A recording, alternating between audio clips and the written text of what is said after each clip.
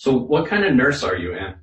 But I did orthopedics for 15 or 16 years. And then I did, I was in the float pool at the hospital for probably five years. I was having a lot of joint pain and swelling and fevers and uh, really high fevers. Um, and so I'd been through like four different um, specialists and nobody could find anything wrong with me.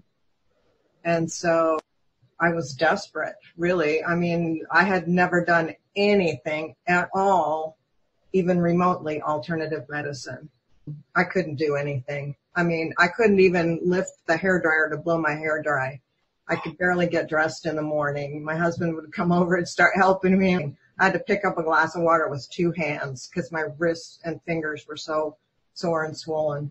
I mean, I was running fevers 101.5 to 102.5, five out of seven days.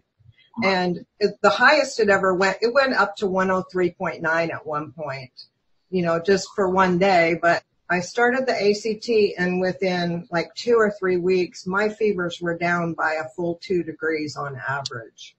I was stunned, totally skeptical, and I didn't think it was going to work. In, and I thought it was maybe placebo effect or whatever, but I got better. So if it's a placebo, I'm okay with that. To find a practitioner or learn to become a practitioner, go to advancedcelltraining.com.